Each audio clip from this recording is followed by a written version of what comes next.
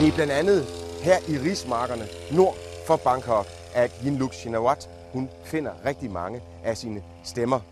Mange mennesker herude på landet, de havde ikke en særlig stor stemme i Thailand tidligere, men i takt med økonomisk velstand, ja, så har de altså fået meget mere at skulle have sagt.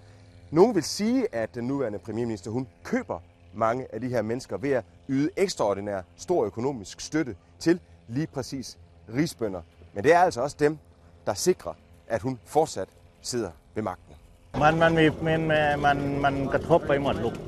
มันกระทบไปทั้งทั้งหมดไม่ใช่ไม่เกี่ยวกับแค่จราจรอย่างเดียว มันเกี่ยวกับเรื่องเรื่องเศรษฐกิจ เกี่ยวกับทั้งการเมืองเศรษฐกิจทุกอย่างเกี่ยวไปหมด เกี่ยวพันกันไปหมดพาให้ให้ให้ย่ำแย่ไปหมด Det er sådan et syn her, som mange af risbønderne de ikke bryder sig om. Folk, som blokerer gaden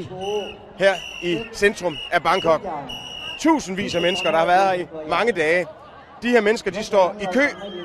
og køen den slutter herover. Herover der bliver der uddelt gratis mad til demonstranterne. Det bliver betalt af massevis af donationer fra rige thailændere, fra restauratører rundt omkring i byen. Intet tyder på, at de her mennesker de har tænkt sig at forsvinde herfra. I dag bliver det altså klart, at Yingluck Shinawat, hun ikke har tænkt sig at udskyde valget. Så spørgsmålet er,